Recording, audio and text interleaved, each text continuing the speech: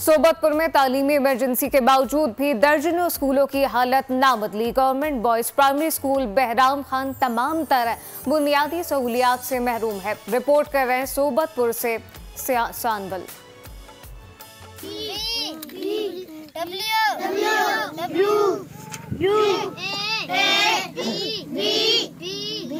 पढ़ेगा सोबतपुर तो आगे बढ़ेगा सोबतपुर का नारा, सिर्फ़ नारा ही बनकर रह गया। सोबतपुर हेडक्वार्टर से पाँच किलोमीटर की मसाफत पर वाक़, government primary school Barham Khan तमाम तर बुनियादी सहूलियात से महरूम है। स्कूल की ना बिल्डिंग है और ना ही बच्चों के बैठने के लिए फर्नीचर मुस्तबिल के मेमार तपती धूप में ज़मीन पर बैठ कर तालीम हासिल करने पर मजबूर हैं। स्कूल प्लास्टिक की शीट से बनाया गया है और गर्मियों में ज़िला सोबतपुर में पारा पचास डिग्री तक जा पहुँचता है। मगर बच्चे तमाम तर मजबूरियों के बावजूद इल्म की प्यास बुझाने में मसरूफ़ हैं। यहाँ कोई साय की, साय तक भी सहूलत नहीं है।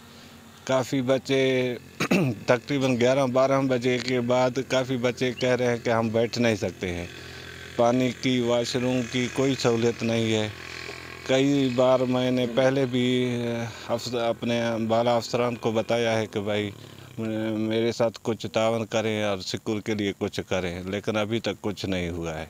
हम ज़मीन पर बैठ के इलम हासिल करते हैं यहाँ कुर्सियाँ नहीं हैं, हम धूप स्कूल की बिल्डिंग दें, यहाँ धूप है, धूप में बैठ कर इलम हासिल करते हैं। स्कूल के बच्चों और टीचर ने वज़ीर अजम वज़ीर अला और महकमा तालीम से अपील की है कि वो स्कूल में बुनियादी सहूलियात फराम करने के लिए फौरी इकदाम करें, ताकि मुस्तबिल के मैमार पढ़ लिख कर अपना और अपने मुल्क का नाम रोशन कर सकें। कैमरा मैन गुलाम मुर्तज़ा के साथ सावल, बोल न्यूज़, सोबतपुर, बलोचिस्तान। सब्सक्राइब करें और बेल दबाएँ, ताकि कोई खबर रह न जाए।